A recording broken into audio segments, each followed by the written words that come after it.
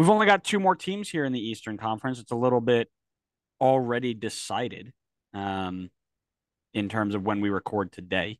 So let's finish up here. Well, not finish up, but let's move on to our penultimate team. Look at that word. Charlotte FC, 33 points right now, currently sitting 14th now that uh, Miami has jumped in the live table.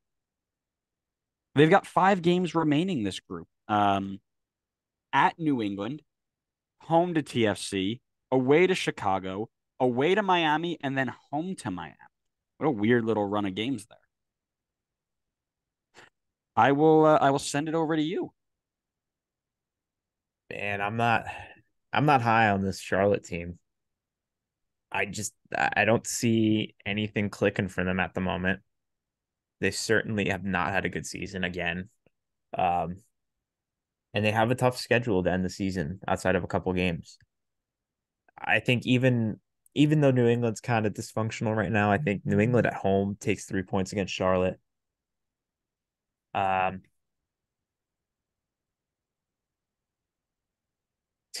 such a pain in the ass.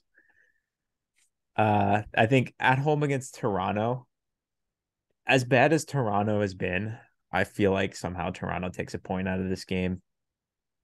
I just think Charlotte will have nothing to play for at that point too.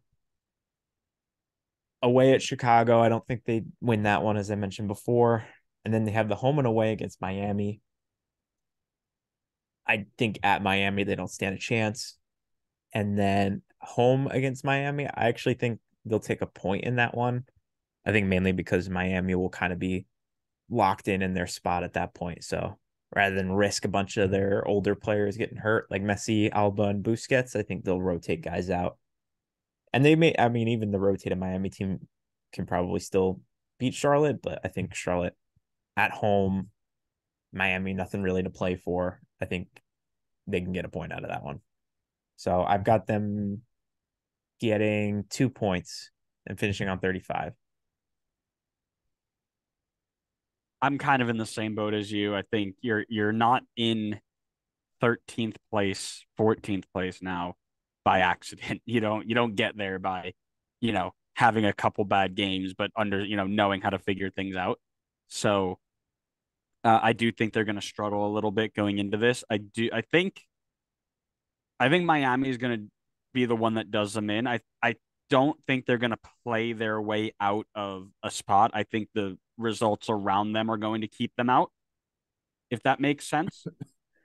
Orlando yeah. scored. Orlando scored. Be onside. Be onside. Come on, Duncan McGuire. Rookie of the year. My goat. Bring Red Bull back to life, baby. Sorry. Um so what I what I think is going to happen is they're going to get results in their first couple of games but so is everybody else, and they're just going to be knocked out by happenstance. So at New England, I think they get a draw. New England's just a nightmare right now in terms of everything that's going on. Uh, and they actually, they, I don't know if they, they didn't win their game. Yeah, they tied Chicago 2 2 last game, and they had to come from behind to do it. Uh, so I think they can get a point of off of them at New England.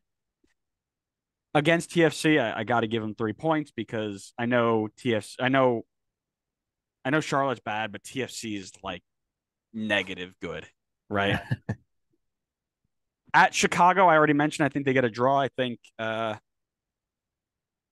I, I I'm just not super sold on the Chicago team because of their history when it comes to the last couple games of a season. Seven draws at home. And then I have them losing both games to Miami. I don't I don't think they've got a chance.